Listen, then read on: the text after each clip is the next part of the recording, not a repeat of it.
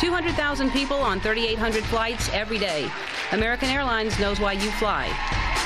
Anyway.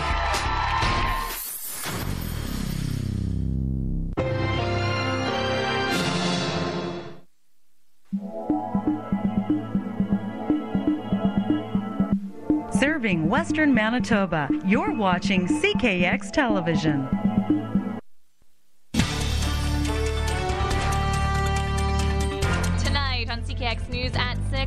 Group of soldiers set out overseas. I'm anxious to get over there. And it's all hands on deck for the Brandon Wheat Kings tonight as they take on the Red Deer Rebels. Plus, here on CKX News at 6, we begin our final cast. CKX has been part of my life right from, you know, when we got a TV. So that was our channel. So it's going to be really sad.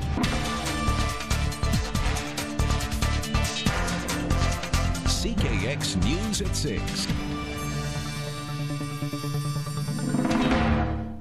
Well, good, uh, good evening, and thanks for joining us. It's no way to start off a cast, but we begin tonight with a goodbye. As of 7 o'clock tonight, CKX Television will cease to exist. Blue Point Investment Corporation pulled out of the deal yesterday afternoon. The deal has always been contingent on CRTC approval, but when the CRTC refused to grant mandatory satellite carriage for the station, Blue Point pulled out. Well, the station's been embedded into the fabric of Westman since 1955. We cover stories in Dauphin, Portage la Prairie, Neepawa, as far south as Killarney, Boissevain, and Coulter. CKX is the only television station to provide quality coverage to those areas, and we will miss the stories those communities have to share. CTV announced back in February that it would not be renewing our contract. It looked at one point like Shaw would pick us up. It dropped us soon after. Then Blue Point Investment came in with its talk of grassroots commitments, but as of last night, it is no longer a viable buyer. This will be the last newscast for CKX TV and the last time viewers will pick up any signal at all for this station. CKX's Tanya Kohat has some of the local reaction. It'll be missed. It'll be missed. CKX has been part of my life right from, you know, when we got a TV. So that was our channel. So it's going to be really sad. For sure, it's an awful thing that Brandon doesn't even have a television station. Like, we're not much of a city without something. Thursday afternoon, the news came suddenly. We looked as though we were closing. Uh, everything was done, and then Blue Point Investments came out of the blue in August to say they'd buy the station. And since then, we've been working on the application for the CRTC, which was filed this week. Uh, they came back saying they would not give mandatory satellite carriage to CKX Brandon. And at that point, Blue Point has decided that it just didn't make sense for them to move forward without that. After months of hanging in limbo, the decision was final. CKX would close the next day was hoping it was a hoax. And as it turns out, unfortunately, it's not. Uh, we were all very excited for not only uh, the city and all of western, southwestern Manitoba, but especially for your, you folks, the employees. And to have it go uh, the way it has is very disappointing. CKX has covered the Westman region, from making friends at City Hall to being a window to the outside world. CKX has been uh, the media of record that's available in every household throughout Western Manitoba for the last half century. Uh, it diminishes the stature of the city. It, it diminishes the stature of the region, uh, and that's never a good thing. A, uh, so it's a very dark day for, for Brandon and, and, and Western Manitoba.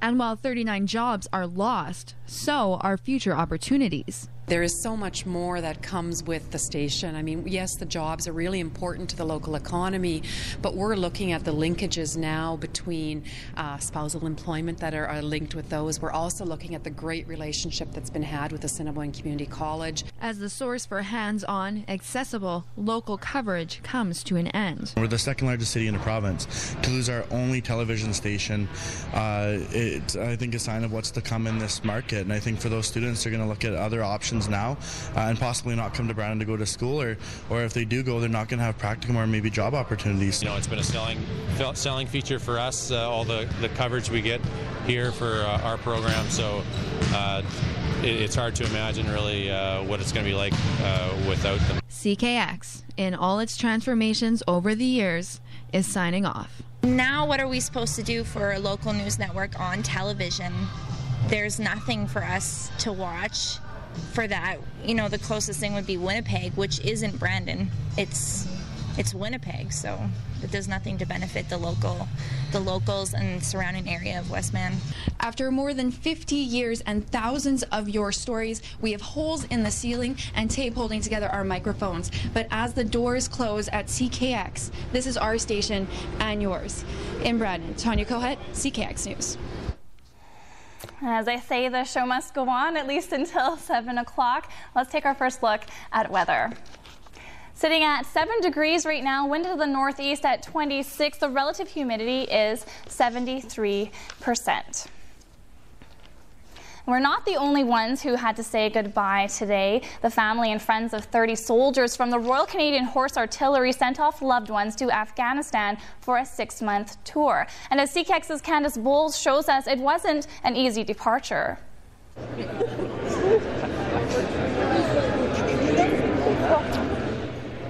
It was a room full of emotions, with some knowing what to expect and others not so sure, but looking forward to the adventure. Probably the experience, just seeing what it's like over there, the, the different culture, and and uh, yeah, just just the experience of it all. Because I'm not really sure what to expect. Brent joined the military three and a half years ago. He wanted a stable job in order to provide for his family, but nothing could have prepared them for today. Up until probably this morning, I just went about my regular routines, doing the kids' things, and just kind of try to put it out of my head or just pretend it was uh, like going on courses and things like that. So today's going to be a rough day when he gets on that bus. You want to try it on? Yeah. Hey, bud. Here. Here you go. Especially rough for Nolan, who is four, and six year old Olivia, but they tried their best to make the goodbye easier for them. We just kind of sat her down and told her, you know, I'm going away. And I think the, um, the three months in Suffield, you know, that helped her too, because dad wasn't there for three months. So, and with this tour, I should be back around Christmas time. But until then, they have rituals they will do so they don't forget about their daddy. We're going to uh, send a letter each week in the mail from dad to Olivia. So she's getting the peace of mind of hearing from him at least that way because calls are probably going to be far and few between. And for this stay at home mom, she says she is going to take everything away from the experience that she can. It's one more thing that's just going to make me tougher.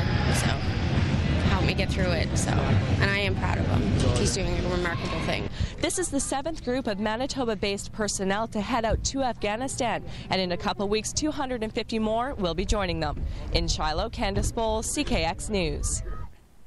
It's an answer in the case, but it won't bring police closer to solving the disappearance of Amber McFarland. A lie detector test has taken one of the RCMP's top suspects off the list of those involved with the disappearance of Amber McFarland.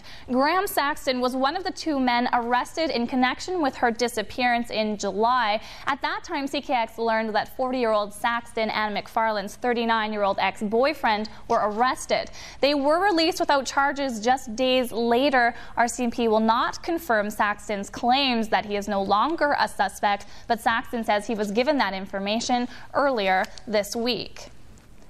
He picked them up thinking they were legitimate customers, but two men had more than just a ride in mind this morning in Portage. They were wielding a knife and demanded money from their taxi driver. The incident happened in the northeast part of the city. An undisclosed amount of cash was turned over and the suspects fled. The 62-year-old driver was uninjured. The suspects are described as being between 18 to 24 years of age with average build, wearing hooded sweaters. Police are still investigating the case a knife, drugs, alcohol, some cash, and love letters from a female nurse. Those were among the items being secretly stashed away by a mentally ill patient at the Selkirk Mental Health Center. That discovery by staff has led to major security upgrades at the facility. The patient, 26-year-old Joey Weave, has been held there since he was found not criminally responsible in 2001 for the murder of his stepmother at their home in Niverville, Manitoba. The center is also holding Vince Li, the man who beheaded Greyhound bus passenger Tim McLean